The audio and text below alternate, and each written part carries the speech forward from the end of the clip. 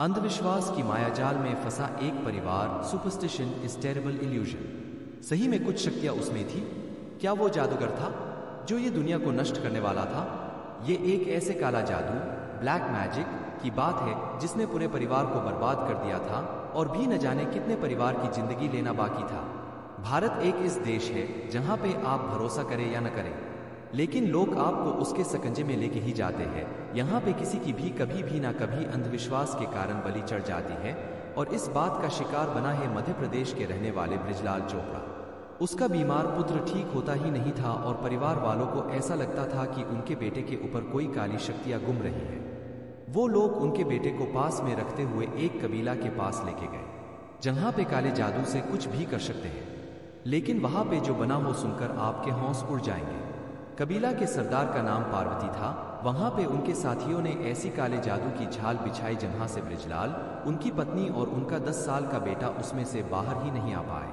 ब्रिजलाल अभी तो अपने पुत्र को लेके कबीला में पहुँचे ही थी कि वहाँ पे हाजिर सभी ने ब्रिजलाल को जादूगर कह के उसको घेर लिया। उनका कहना यह था कि ब्रिजलाल एक बहुत बड़ा जादूगर है और उसका मृत्यु ये संसार के लिए बहुत ही आवश्यक है। पार्वती ने अपने कबीला के आदमियों को आदेश दिया कि वो ब्रिजलाल को मार दे। वो लोग ने ब्रिजलाल को घेर लिया और उनके आसपास नृत्य करने लगे। किसी के हाथ में त्रिशूल था तो किसी के हाथ में तेज धार वाली तलवार। उसमें से एक आदमी सामने आया और ब्रिजलाल ने हाथ काट दिए। ब्रिजलाल बहुत चीखा बुम्बराड़ा किया। बारंबार कहता रहा कि मैं जादूगर नहीं हूँ, लेकिन उनकी चीखें उन लोगों के गाने में और हंसने में दब गई। ब्रिजलाल को जादूगर कहने के बाद पार्वती ने अपने लोगों से ऐसा कहा कि इसकी सारी शक्तियाँ उसके हाथ में है। इसलिए कुछ भी समझे बिना ब्रिजलाल के हाथ काट दिए, उसके बाद ब्रिजलाल कभी भी किसी के पर हावी न हो, उसकी सारी शक्तियाँ भस्म हो जाए, इसलिए वो दुष्टों ने ब्रिजलाल को ज़िंदा जला दिया और देखते ही देखते ब्रिजलाल का शरीर राख में मिल गया। ये सारा खतरनाक दृश्य ब्रिजलाल के दस साल का बेटा और उनकी पत्नी के सामने हुआ था।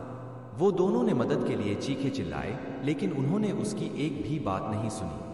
ये सारी घटना को अंजाम देने के बाद उन्होंने ब्रिजलाल की पत्नी और बेटे को जाने की अनुमति दे दी और उन्होंने एक चेतावनी दी कि अगर इसके बारे में किसी को भी कुछ भी कहेंगे तो उसका अंजाम बहुत ही बुरा होगा। अपने पति की मौत और पूरे परिवार को खत्म होता देख सुषमा पूरी रथ पुलिस स्टेशन के चक्कर काटती रही। मापुत्र ने सारी बातें पुलिस को बताई कि किस तरीके से वो डाकन ने उनके पति को ज़िंदा जला दिया। फ़िलहाल डकनों की पूरी जमात और उनके सरदार पार्वती सहित पुलिस ने सबकी धरपकड़ कर ली और सुनने में आया है कि बहुत जल्द उन लोगों लो मौत की सजा होगी। कानून इस घटना को किस तरीके से अंजाम देगी वो तो समय ही बताएगा। लेकिन इस घटना ने एक बहुत ही बड़ा सवाल खड़ा कर दिया है कि क्या सही में भारत में कला जादू होता है और अगर होता भी है तो किस कारण से होता है? ऐसे ही हर रोज कोई निर्दोष की बलि चढ़ेगी? बहुत सारे सवाल हैं, लेकिन जवाब ढूंढना बहुत ही मुश्किल है।